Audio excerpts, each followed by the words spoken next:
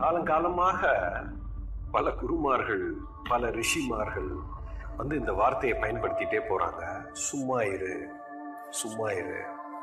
சும்மா இருந்தால் நீ சிவனை அடைவாய். சும்மா இருந்தா நீ உண்மையை பார்ப்ப அப்படின்னு சொல்றாங்க. இந்த சும்மா இருக்கிறதுங்கிறது என்னது?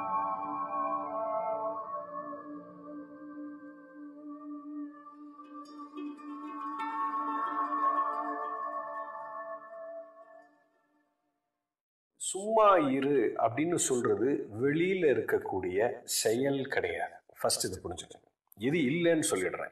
இப்போ நான் பேசிக்கிட்டு இருக்கிறேன்.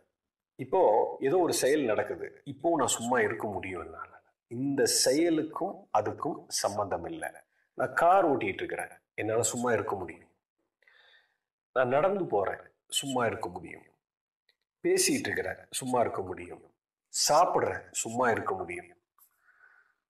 அப்படின்னா வெளியில இருக்கக்கூடிய செயலுக்கும் சும்மா இரு அப்படின்னு சொல்றதுக்கும் சம்பந்தம் இல்லை. இது வந்து உள்தன்மை. நீங்க எப்பயுமே சும்மா இல்லை அப்படிங்கறத நீங்க புரிஞ்சுக்கிட்டீங்கன்னா சும்மா இருக்கிறது என்னன்னு உங்களுக்கு புரிஞ்சிடும் ஓகே இப்ப முத முதல்ல நீங்க கார் கத்துக்கிறீங்க. ஒரு கார் ஓட்டுறதுக்கு ஒரு டிரைவிங் ஸ்கூலுக்கு போறீங்க.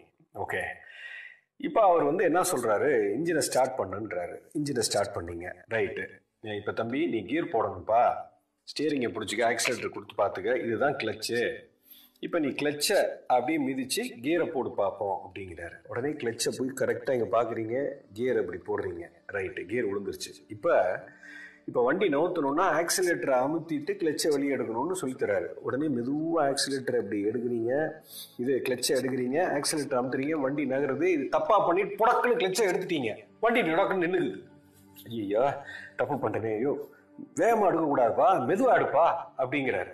உடனே ரெண்டாவது தடவை மறுபடியும் ஸ்டார்ட் பண்ணி கியரை போட்டுட்டு கிளச்சை மெதுவாக எடுக்கிறீங்க. ஆக்சிலேட்டர் அமுத்துறீங்க. அதுக்கப்புறம் வண்டி நகருது. ஏ ஸ்டேரிங்க பிடி ஸ்டேரிங்க ஆ ஸ்டேரிங்க ஆ, முன்னாடி பாரு முன்னாடி பாரு அடுத்த கீரை மாத்தணும். அடுத்த கீரை மாத்தணும்னா கிளச்சை பிடிக்கல. ஆ கிளச்சை எங்க இருக்கு? இப்படி படாத பாடுபட்டோம்.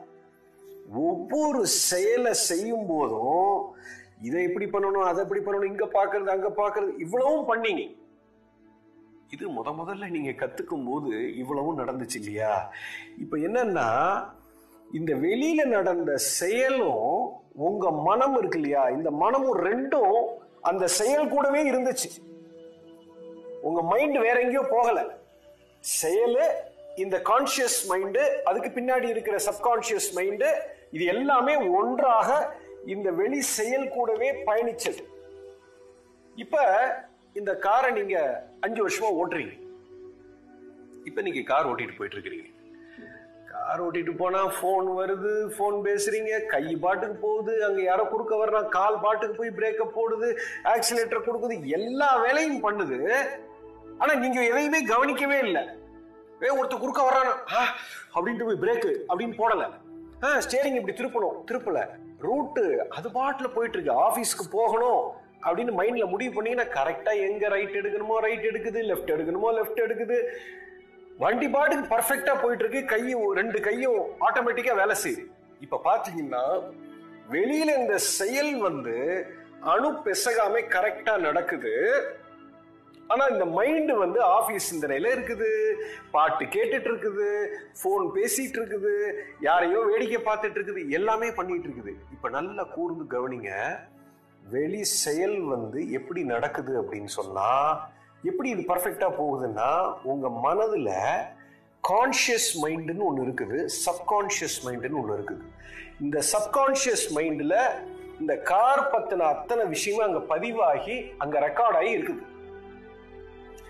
இப்போ அங்கே வந்து நீங்கள் போட்டீங்க ஏ ஆஃபீஸ்க்கு போடா.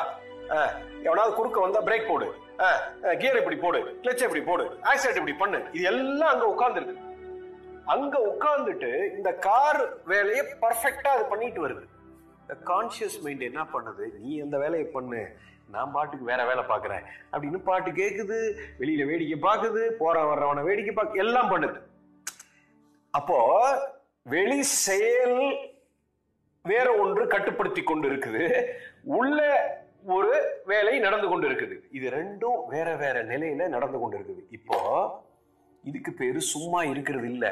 சும்மா இருக்கிறதுனா என்னன்னா இப்ப வெளியில என்ன செயல் நடக்குதோ அது கூட இந்த கான்சியஸ் மைண்டு எப்போ ஃபுல்லா நூறு சதவீதம் சிங்க் ஆகும்போது என்ன ஆகுதுன்னா இப்ப சப்கான்சியஸ் மைண்டும் கான்சியஸ் மைண்டு உங்களுடைய ஆள் மனம் என்றால் ஒன்றாக மாறி விடுகிறது ஒன்னா மாறும்போது என்ன ஆகுதுன்னா சப்கான்சியஸே வேலை செய்யாது.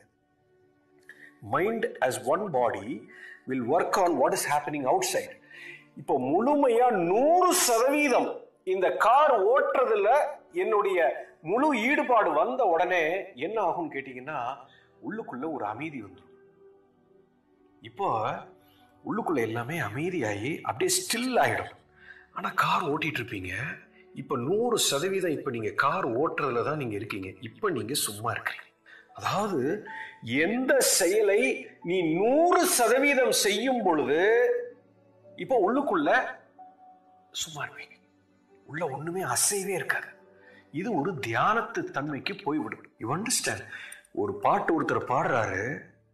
பாடிட்டு இருக்கும்போது அது சப்கான்சியஸ்ல இருந்து பாடல. அந்த பாட்டு கூடவே அவர் பயணிக்கிறாரு. அது கூட போக போக போக தன்னை மறந்து பாடுறாருன்னு சொல்றோம் இல்லையா? தன்னை மறந்து இல்ல தான் என்ற இதே அழிந்து விட்டது. அப்போ அங்கே வெறும் பாடல் மட்டுமே இருக்கிறது. அப்போ பாட்டு மட்டும் வந்து கொண்டு இருக்கும் இந்த கணத்தில் பாடல் வந்து கொண்டு இருக்குது ஆனால் அந்த மனிதர் சும்மா இருக்கிறார். அதுதான் அது தெய்வீக ராகமாக மாறுகிறது. ஒரு விஷயத்துக்குள்ள எப்போ நீங்க ஆழமா உள்ள போயிட்டீங்களோ நீங்க சும்மா ஆயிடுவீங்க. அப்பதான் அந்த எக்ஸைட்மெண்ட்டே வரும்.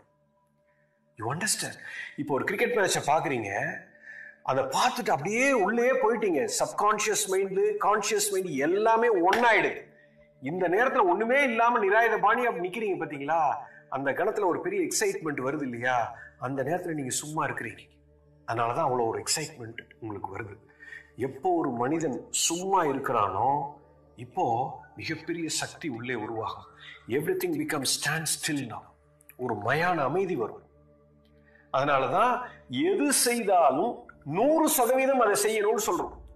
ஏன்னா நீங்க நூறு சதவீதம் செய்யறது இல்லை ஏன்னா உள்ள ஒரு கலாட்டா ஓடுது வெளியில ஒண்ணு ஓடுது. ரெண்டுக்கும் டிஸ்கனெக்ட் ஆயிடும் யூ அண்டர்ஸ்டாண்ட் சும்மா இரு அப்படிங்கிறது உள்தன்மை இல்லை வெளி செயல்ல இல்லை.